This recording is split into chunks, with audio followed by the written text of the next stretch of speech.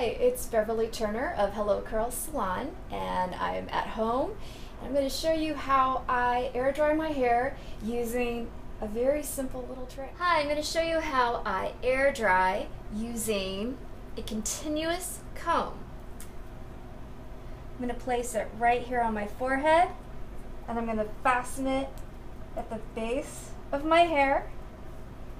I'm going to lift it barely over my ears and then I lift this section way up and then put it into my hair so I leave a little bit of volume. I grab my hair. So I gently flip my hair back. I might adjust it a little bit, pull out some little sections, make sure everything's down, and I allow it to air dry.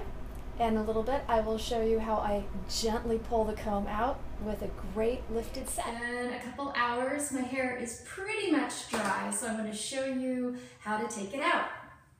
I lean all the way forward and I unleash the comb and I just slowly pull it away and I might flip the comb back and forth and that helps get it all the way out.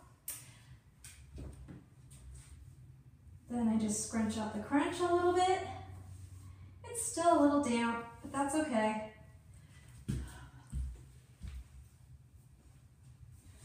How's that for lift?